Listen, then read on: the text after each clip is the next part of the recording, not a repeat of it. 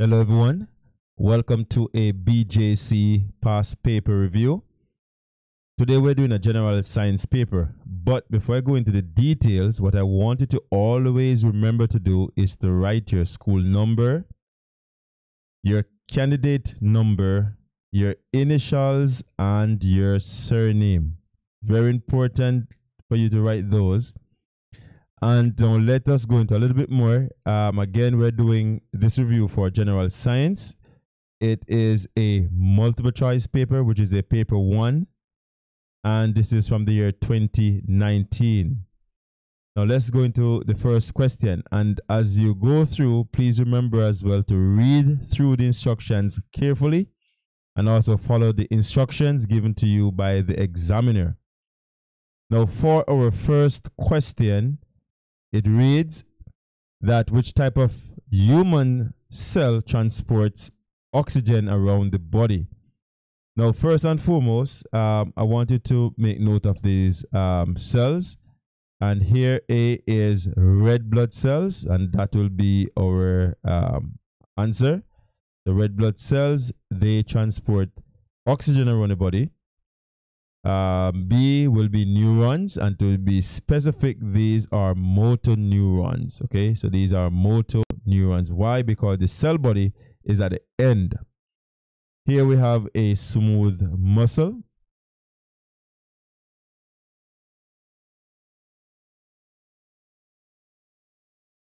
All right, and these will be sperm cells. All right, great. So again, our answer for question number one will be A, because they are responsible to transport substances around the body. All right, let me just move this out of the way. All right, so these are red blood cells here, and this is our answer. All right, great. So now let's jump to the next question. And for question number two, it reads that which plant cell opens and closes to allow water and carbon dioxide in and out of a leaf, and that will be our guard cells. All right, the guard cells will control the opening and closing of those leaf pores, and those leaf pores we call them stomata. Now, the palisade is where photosynthesis will take place, and that's the upper layer inside of the leaf itself. The root cell responsible to absorb water, and the xylem vessel will transport water throughout the plant. Now, for question number three, it said a substance found in plant cells but not in animal cells is, and this will be cellulose. Okay, remember cellulose in plants. Starch is also in plants as well.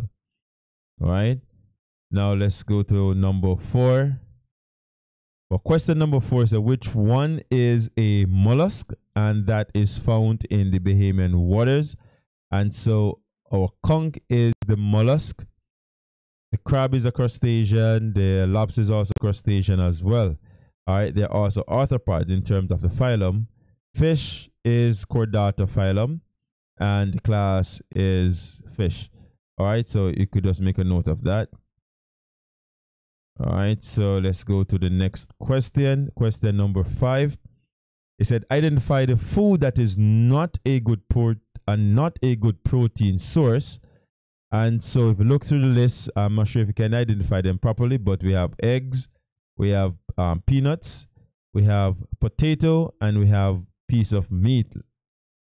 So potato is carbohydrate. It is starchy. So please remember, anything that is sugar or starch belongs um, to carbohydrates. But you can get um, meat um, all the meat will con- will give you protein. Nuts and grains will also give you some level of proteins as well. Number six, it said which are the best sources of calcium. And so when you think about calcium here, um, you're thinking about your milk and your dairy products. So number six is D. All right, number seven. It said Dennis bought a chicken um, snack from Bamboo Shack for, for Maria. The paper bag had grease stain on it, And then a question here asks, though, it said, um, have grease stain on it. It said, which food nutrient cause the stain? So, which food nutrient cause the stain? Let me just zoom in a little bit more so you could see. Okay, so which food nutrient cause the stain? And this here is fats. So, once you see oil or grease, then you know that is what? Fats. All right. So that is uh easy one. I'm sure it is easy for you. Now, number eight is a, a diet rich in carbohydrates and sugar can result in which of the following? And please remember that sugar is a carbohydrate, okay? And so once you have sugar or carbohydrates in your body, especially complex um, carbohydrates, starchy stuff, then you will lead to diabetes. Also, please note that anemia is lack of iron. All right, so number nine which do we call substances which affect the rate of chemical digestion. So the, the name of those chemicals that will change the rate of chemical reaction in our body is called enzymes. The enzymes generally will speed up how chemical reaction take place inside of our bodies. And point to note is that enzymes are very important in terms of digestion of food substances. All right, so let's go to question number 10. And question number 10 um, reads is that, say, um, Casey, um, Casey had a slice of mushroom pizza containing 258 calories for lunch. Danny chose the barbecued chicken slice with 386 calories. How many calories more did Danny consume?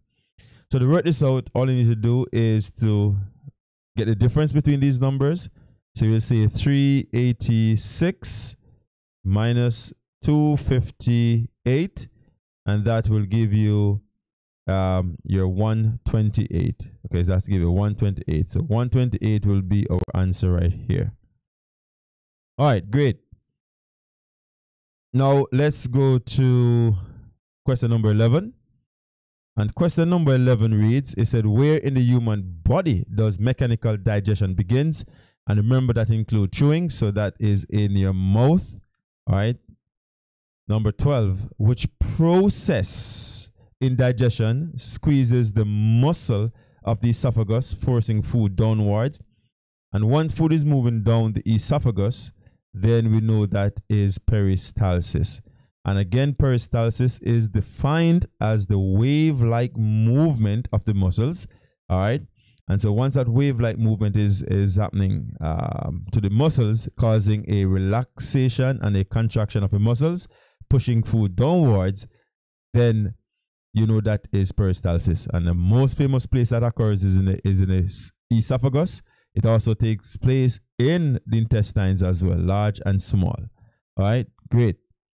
All right, so let's go to number 13.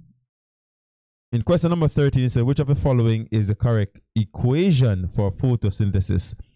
What I want you to remember is that for photosynthesis to take place, um, plants and also plant-like organisms will take in carbon dioxide, water, all right, and that will take place in the presence of sunlight.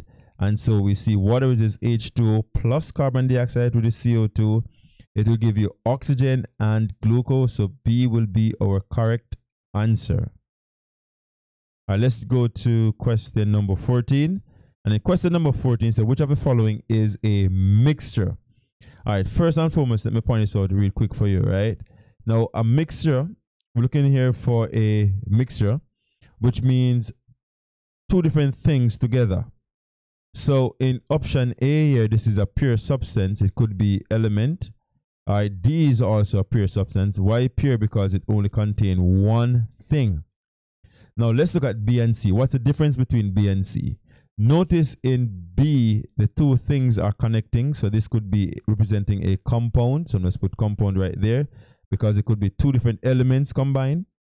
So in C now, they are together, but they're not joined together.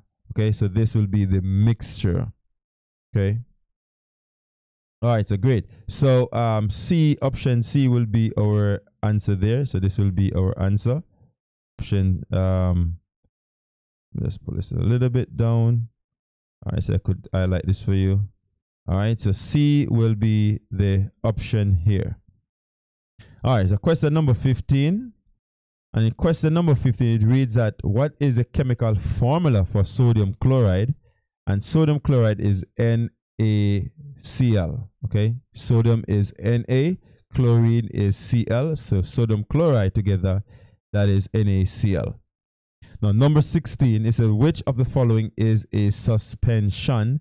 And a suspension is when you see solid particles um, settling to the bottom of the mixture and so if you think about coffee, you'll not see anything um, settling, only the same thing. Um, milk, the same thing. And so um, I'm going to kind of label them for you so you know what is what. So the answer here will be D, the salad dressing. Um, so let me quickly label what are these. So a coffee will be like a solution. Okay, so coffee will be solution. It is uniform throughout. Honey is also um, a solution. All right, so it'll be uniform throughout. But milk is what they call a colloid. So milk is a colloid. All right, and again, um, the just the, the salad dressing will be our suspension. You could see solid particles settling in that mixture. All right, so let's go to question number 17. And in question number 17, which, which reads that which method would be better to separate a mixture of alcohol and water? Now, first and foremost, I want to tell you that um, alcohol and water, the, the, the boiling point, pretty much close. All right, but alcohol will evaporate before water. So the process is best to use with this one is actually distillation. In fact, the best actually the best actual method is actually fractional distillation. But since they have distillation here, it works. Okay, all right. That's but the, but that's generalizing. But the specific one is fractional distillation. I'm going to put it right here for you, right? So just in case you may see the two fractional, um, you see the two distillation, which is simple and fractional, then know fractional distillation will be the best answer, okay? So I just want to put that in there. All right, great. All right, so 17 is B. Now 18 is a which of the following is a solution, and a solution is when the mixture is uniform throughout, is homogeneous. And so again, um, 18, as I mentioned before, that um, coffee will be um, a solution. Okay. All right. So oil and water, they do not mix. Okay. So, they, so, so those, they are immiscible liquids. Salad dressing, as we established, that will be a suspension. All right. And peanut butter will be a colloid. All right.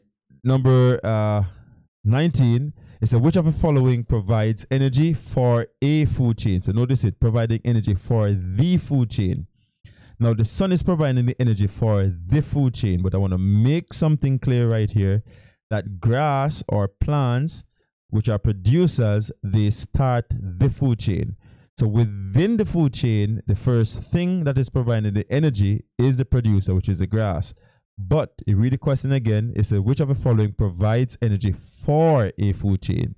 And sun is what providing the energy for the food chain because the producer, which is the grass or plants, will use the sun energy to make glucose. All right, just to point that out. All right, so number 20, which is halfway through. For this question reads, it's a student found a rusty quarter on the ground it said, what type of change has happened to the quarter? Now, once you see rust, it is a chemical reaction. Okay, it is a chemical reaction because it would be hard to go back to its natural state. All right, or you may say it's hard to be reversed. Now, 21, it said, which of the following um, being an animal is protected by a closed season? And a closed season here is the crayfish. So the crayfish is protected by a closed season. Let's highlight that. All right. All right, but um, there's a point to note that the Bahamian parrot um, and also the Bahama parrot and the turtle, they are endangered. All right, and so you cannot capture those. Okay, just to make a point to that. And what the word endangered mean, that mean they are close to extinction. That mean they are so threatened that they only have a small population remaining. All right, and so you're not able to catch them by law. So they are protected by law, but there is no close season. All right, question number 22. And question number 22 um, reads Which of the following is an endangered species? And this is the rock iguana. It's a very low population. And so, if you're not careful, they can go into extinction. All right, question number 23. It said, Which of the following has wavelengths longer than wavelengths of visible light? And this one will be our radio waves. Uh, what I'm going to do for you now, I'm going to kind of list them in order um, the, the wave of the electromagnetic spectrum. Um, and so you'll see which one is first. So the one that is smallest um, to the to the largest, I'm going from smallest to largest. And so gamma will be the smallest one, so gamma rays. All right, after gamma rays, we will have um, X rays. Okay, so gamma rays and X rays. All right. And then um, we will have uh, let's say x-rays then we will have here our uv so we have uv which is um, ultraviolet. So this is ultraviolet light.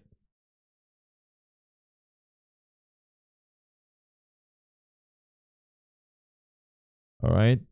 And then the next one on the list will be visible light.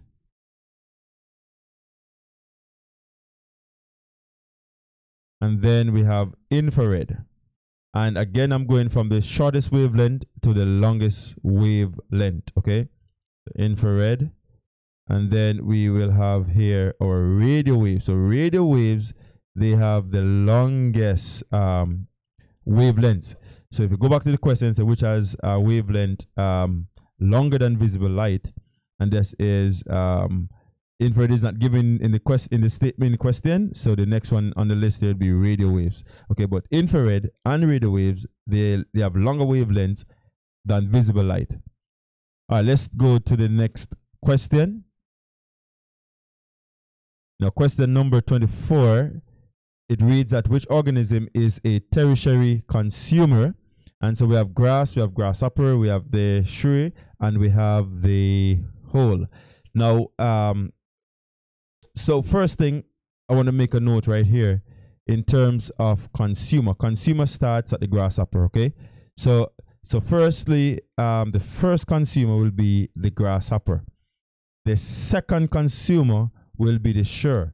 And then the owl will be our tertiary consumer.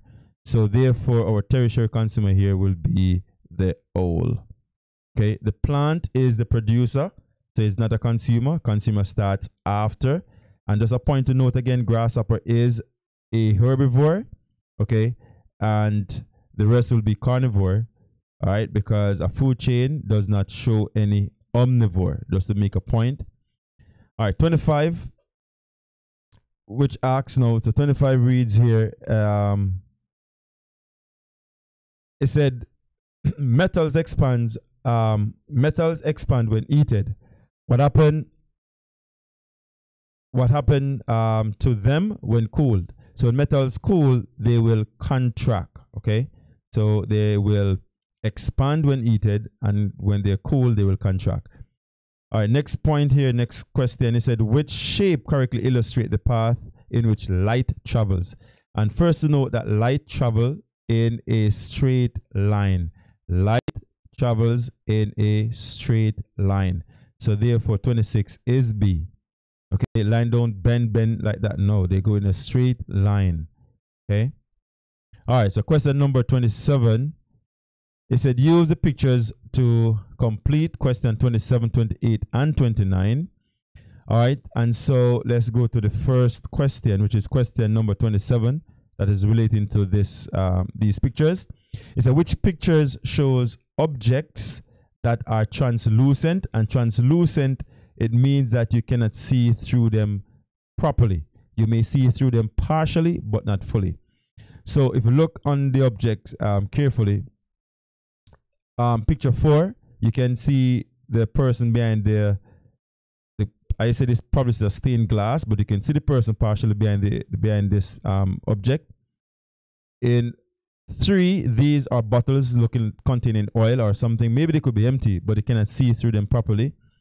All right, and so you're looking for four and three to be translucent, and so 27 will be D because number three, picture three, and picture four, they are translucent. Now for 28, is that which pictures shows um, which pictures show transparent objects. And when you say transparent you mean you can see through them. Okay? So go back through this. This is a container with probably a lid on it so you can see the stuff in the container. And then the wine glass you can actually see through them and so looking for 2 and 6 to be transparent let's look at transparent 2 and 6 and so 28 here is c now, question number 29, it asks which picture shows opaque objects. And opaque objects are object are objects that you cannot see through. And so if you look at um, the spoon and the tree, you cannot see through those. So one and five will be our opaque objects. So one and five, which is B for 29. Okay, great. Now number 30, it said in in a desert, a lion stalks and kills another animal for food. What term describe what what term describes the lion? And so the lion is eating meat, it's eating another animal, so therefore it is a carnivore. Remember, um, carnivores they eat meat. Okay, so let's just put in some information right here. So carnivores, carnivore uh, eats meat. Just to make a note, for for decomposers decomposers they they they, they will feed on um dead organic materials and break them down all right um herbivores eat plants only okay so herbivore eats um plants okay all right and so omnivores omnivores now eat both plants and animals okay so, so eat both plants and animals. And or you can say eat both plants and meat. Okay. Uh, let's put meat all right quickly. All right, so we have that. So those are the way we describe those organisms. Now question number 31. And question number 31. Oh, I'm going too far. A little bit go back up. All right, so question number 31 is which of the following is a correct food chain and so if you look at option A, it say a bee, a bee cannot start a food chain. You must start with a plant, which is a producer. So um, so A and C, they're out. And so option B could be possible. And then D, start the grass, so it could be possible. But let's look what the difference between B and um, D. And so corn and human, that's correct because um, human beings, uh, we can eat corn in option D, grass and lion. Lion do not eat grass. Lion, as we established, they are carnivores. Okay. So option B here will be our correct answer for this one. Now, question number 32, it said sound waves cannot travel in what?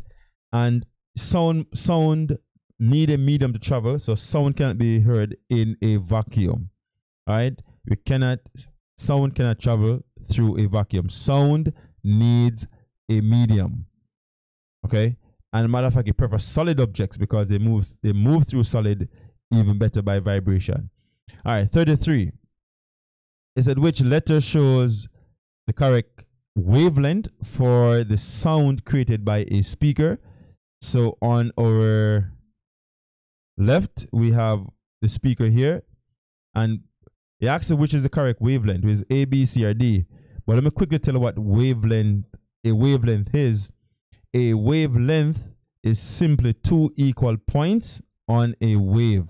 So once you can identify two equal points on that wave, then that will be your wavelength. So in this case, option D will be our wavelength because it's two exact equal points, okay? Now let's move to our next question, which is question number 34 is what do we call the total energy of all particles in a material? And notice it said all particles within it. And so if you look at option A, kinetic energy is not because kinetic energy deals with motion. So once you see kinetic energy, you talk about what? Motion. Potential energy is about height or position. So the higher you go, the higher something is, is the more potential energy it has. And temperature is just the measure of how hot or, some, hot or cold something is. So our correct answer right here is 34 is D. The 34 is D. All right. So, which is thermal energy because particles do have thermal energy in them. They could be cold, they could be hot, but they always have um, a degree of coldness or hotness inside of them. All right. So, 35, and we're almost there. It said, which material would be the best insulator for the handle of a cooking tool to be used when grilling food um, over a fire? And so here, uh, metal is not good because the metal will get hot real quick and cause burning. Um, the paper, no, absolutely that to catch fire. Plastic could melt, but the best one here would be wood. Okay. All right. So 36. It said the temperature at which a liquid becomes a gas, a liquid becomes a gas is what? And this is the boiling point because remember the liquid must boil before it turns the gas. Okay. Condensation is when it is cooling and moving from gas into liquid, so temperature actually drops. Freezing point pretty much is when the liquid becoming solid, and that's a very very um, cool temperature, especially if talking about water. All right. All right, and sublimation is when it converts from solid into gas directly without going to the liquid state. All right, so for um, question number 37 now. The question number 37 said, How do current currents um, transfer heat in the ocean? So, once you talk about fluid, whether it be gas or liquid, then the way that that heat is being transferred through the liquid or through the fluid is convection. So 37 here will be B. All right, now question number 38. It said in in a house, in a house, there are four lights um, connected in a circuit that's shown in diagram in shown in diagram. It said, where would you put a switch that would turn all the lights off? So to disconnect all the lights. First, you need to think about this, right? Um, what will stop the flow of the current through this thing? If you take off let's let's start with with, with A, a matter of fact. If you close A, then the current will stop flow through everything. So A will be your answer. But let's look at B. If let's say leave A and look at B. If you take off B, then this light bulb here in the first one, this one could still be on. The others will be off. Okay. And again, take off C, it only affect um, one light bulb. Take off D, only affect affect one light bulb. But A affects everything. Okay. All right. So let's go to question 39. And it said, How is a shadow caused? And a shadow is caused simply if you stand in front of a light, you will see shadow in front of you, right? So a shadow is caused when light blocked by an object. All right. So question number 40, which is the last question. And it reads, it said, which process is used for treating and handling food to slow down spoilage? And this is any method of preservation. We preserve the food so it could stay longer without any form of spoilage.